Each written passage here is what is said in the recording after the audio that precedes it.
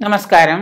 കുടുംബത്തിൽ ഭാര്യ ഭർത്താക്കന്മാർ തമ്മിൽ വഴക്കടിക്കുന്നത് ദമ്പതികൾ തമ്മിൽ വഴക്ക് കൂടുന്നത് കലഹം നിരന്തരമായിട്ടുള്ള കലഹം ഇത് ഒഴിവാക്കാനായിട്ട് നമുക്ക് ദമ്പതികൾ കുടുംബത്തിൽ വഴക്കും പ്രശ്നങ്ങൾ ഉണ്ടാകുന്നത് കൊണ്ട് കുട്ടികൾക്കൊക്കെ ജീവിതത്തിലെ കുടുംബത്തിലെ അസ്വ അസ്വാരസ്യങ്ങളും അശാന്തി മനസ്സമാധാനക്കേട് ഇതൊക്കെ കളിയാടുന്നു. കുടുംബത്തിൽ പൊതുവെ ഒരു ഐശ്വര്യക്കേടുണ്ടാകുന്നു.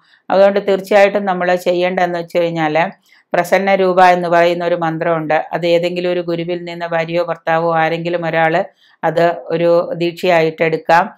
അല്ലെങ്കിൽ എന്നി- എന്നിട്ട് ഈ പ്രസന്ന രൂപ എന്ന് പറയുന്ന മന്ത്രം ദിവസവും രാവിലെ അഞ്ചു പ്രാവശ്യം വീതം ഇത് ജപിക്കാം.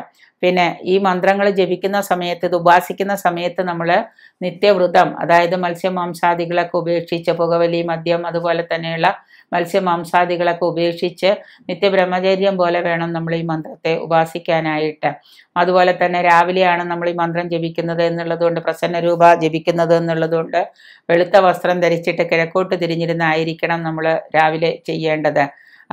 രാവിലെ കിഴക്കോട്ട് അഭിമുഖമായിരുന്ന വെളുത്ത വസ്ത്രം ധരിച്ച് വേണം നമ്മളിത് അഞ്ച് പ്രാവശ്യം ഈ മന്ത്രം പ്രസന്ന രൂപ മന്ത്രം ജപിക്കാൻ.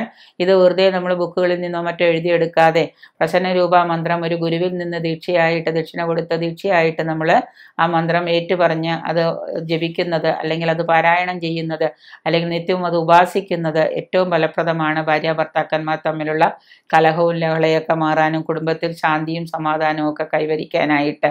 അത് മത്സ്യമാംസാദികളൊക്കെ വെടിഞ്ഞ് വ്രതശുദ്ധിയോടുകൂടി നിങ്ങൾ ചൊല്ലാൻ തുടങ്ങിക്കഴിഞ്ഞാൽ ദമ്പതികൾക്കിടയിൽ അഭിപ്രായ ഭിന്നതയൊക്കെ മാറുകയും സ്വരച്ചേർച്ചക്കുറവൊക്കെ മാറി അവർ തമ്മിൽ വളരെ അഗാധമായിട്ടുള്ള ഒരു അടുപ്പത്തിലേക്ക് വരും. വിശ്വാസത്തോടും ഭക്തിയോടും കൂടി നമ്മൾ ഇതൊരു വൃതാചാര്യത്തോടു കൂടി ഈ മന്ത്രത്തെ ഈ പ്രസന്നാരൂപത്തെ നമ്മൾ ഉപ ഉപാസിക്കുകയാണെങ്കിൽ നമുക്കതിന്റെ ഗുണങ്ങൾ തീർച്ചയായിട്ടും കിട്ടും. അതുപോലെ തന്നെ ഓം നമോ ഭഗവതേ രാമായ രാമചന്ദ്രായ സൗമ്യായ ശ്രീം നാരായണായ സീതായുക്തായ ലക്ഷ്മണ സേവിതായ ശ്രീ സൗഭാഗ്യ രൂപാത്മനെ ഹനുമത് സേവിതായ സത്യായ നമ എന്ന മന്ത്രം.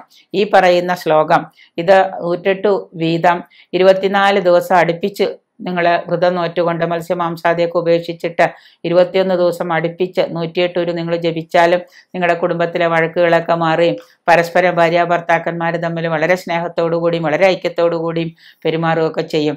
ഇതൊക്കെ ചെയ്യാനായിട്ട് നമ്മൾ പാലിക്കേണ്ടത് എന്തെന്ന് വെച്ച് കഴിഞ്ഞാൽ വളരെ വളരെ ഭക്തിപൂർവമുള്ള ഒരു വിശ്വാസമാണ് നമുക്ക് അവിടെ ഉണ്ടാകേണ്ടത്. പിന്നെ വ്രത വ്രതവും പാലിക്കണം.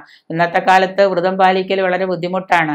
പിന്നെ മറ്റൊരു കാര്യം എന്ന് പറഞ്ഞു കഴിഞ്ഞാൽ ഇരുപത്തിയൊന്ന് ദിവസമൊക്കെ ആകുമ്പോൾ സ്ത്രീകൾക്ക് ആർത്തവ സമയത്ത് നമുക്കിത് ഉപയോഗിക്കാൻ പാടില്ല. അപ്പം അത് വീണ്ടും അത് തെറ്റും. അപ്പം അതുകൊണ്ട് തന്നെ ഇരുപത്തിയൊന്ന് ദിവസം കിട്ടുന്ന രീതിയിലായിരിക്കണം നമ്മൾ ഈ മന്ത്രങ്ങൾ ചെയ്യേണ്ടത്.